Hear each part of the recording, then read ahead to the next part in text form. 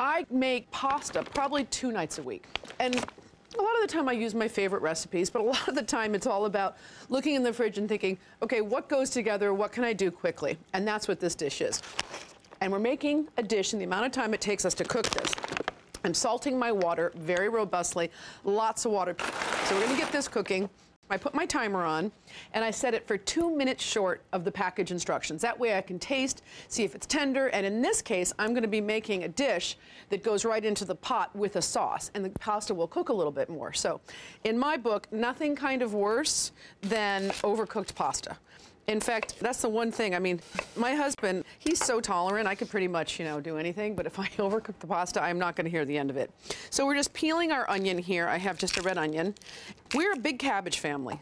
I think not only is it healthy, but there are so many ways to cook it. There are so many techniques for cooking. It's completely affordable. And not only that, it is one of the most healthy vegetables you can have. So this came about when I had already used a half a head of cabbage for something, I forget what. And I made this dish and I started thinking about it and I went with the cabbage and the bacon. I'm just gonna get my pan hot now. Always have some bacon around. I mean, if it's not in the fridge, it's in the freezer. And in fact, it's so funny because now what really happens is we never run out of bacon and we never run out of jam because every single time we go to the grocery store, we pick up both things. So I could just pick it out of the freezer if I needed to two garlic cloves minced, and then my bacon, just a couple slices. Bacon is really just flavoring this whole thing, and I don't need it to overwhelm. Get that back in the fridge, and just slice it lengthwise, and then slice across. This is a great start for a lot of pasta dishes, actually. And I don't know, that's why I'm never worried when we get home and people are hungry and they're like, let's order pizza. Yes, they say that to me. Can you believe it? And I think, you know what? I can just almost bet you, no matter what's going on, that I'm going to be able to get food on the table faster than it takes to order pizza, and it's going to taste better too. So we have some olive oil in here, just enough to coat the bottom of the pan, and everything goes in together.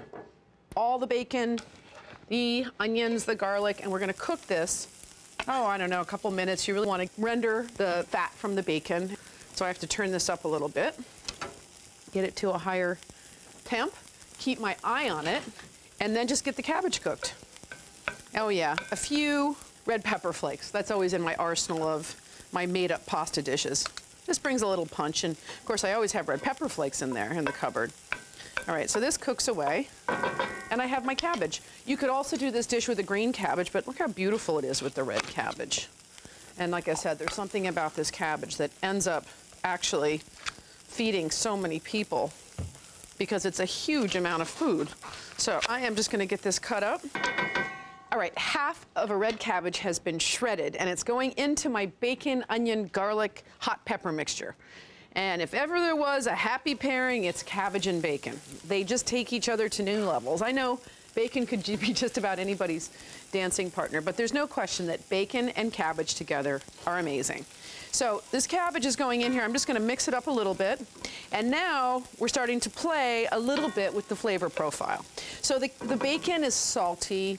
The cabbage has a real earthy flavor to it. So I'm going with some currants. I have a quarter cup of currants, not too many, but it just spreads throughout this whole dish a little sweet hit. Now raisins, to me, that would be too much. That would just be a little bit too big of a sweet hit. But those currants, they're tiny and they're yummy. And then I just take the rind of a lemon, so you can picture me the first night I was here, scrounging in the fridge with half of a cabbage and, oh, there's a lemon over there? Mmm, lemon rind, that seems like it might be good.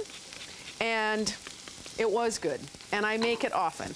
So while this cooks away, and the cabbage is gonna let out some liquid, and it really needs to cook down, not completely, but we're not looking for crunchy cabbage here. We want it cooked, but we don't want it mushy. And if ever there was a vegetable that is not featured to its best mushy, it's cabbage. So we're gonna keep our eye on this and let it cook.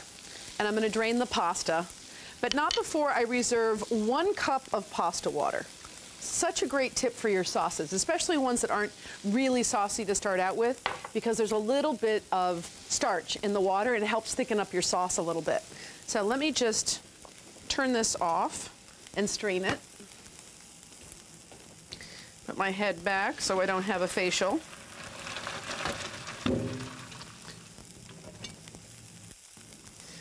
Okay. shake it off a bit. And I don't have to be too, too crazy about getting it dry because I like that water in there. So I'm just gonna leave this here for one second. And at this stage, you could put just a little bit of olive oil in here and then just stir it around a little bit, and that prevents uh, pasta from sticking while you're waiting for it to go in your sauce.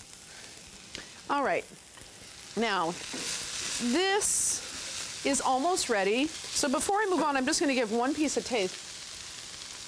Mmm. It's tender, a little crispy still, or rather a little crunchy, but I'm gonna move on because I have some more cooking to do. So on the bottom of this pan, don't forget we have all those beautiful bits from the onion and the garlic and the bacon. I'm not gonna let that flavor go. So I'm getting about three tablespoons of red wine vinegar to deglaze the bottom of the pan. And vinegar and cabbage, also a wonderful combination of flavors. Now you have to cook it off, and you can see how right away the bits come off the bottom of the pan. It's great. And then it incorporates all the more flavor in here. All right, so now we'll build the sauce part of this dish. Doesn't it look beautiful? All right, my reserved water, one cup, half a cup of milk. We're making this a little creamy. You could use cream if you wanted. But again, remember, I was improvising when I made this dish. Oh yeah, let's see, hmm, I need a little bit more liquid. And then when I got this far and I liked the creaminess, I thought, okay, I wanna melt some Parmesan cheese in there. So a good half a cup of grated Parmesan. The basic thing is I'm using a cheese here to kind of mix with the cream and the pasta water to form a bit of a creamy sauce. Mmm, it smells so good. It really does. I'm very, very pleased with this. Okay, now last but not least, I'm just gonna taste this and make sure that I have, the saltiness is good, it's creamy enough, it's good. The cream really ties together that bacon and the cabbage. Get this on a little bit of a high temp, and while I have this liquid in here, in goes the pasta. Now, at this stage of the game, if you were serving a large group, this is really enough of a mixture that you could do more pasta. You could do like a pound and a half of pasta or maybe even two pounds.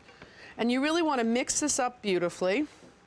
And then one last little thing that kind of ties the whole thing together since I have the lemon zest in there is I like just to put some lemon juice. And I just squeeze it over at the end. I don't like to cook it with the lemon juice because that could tend to get a little bit bitter. So this is it. This is your staring into the fridge, not sure what to do with my pasta pasta.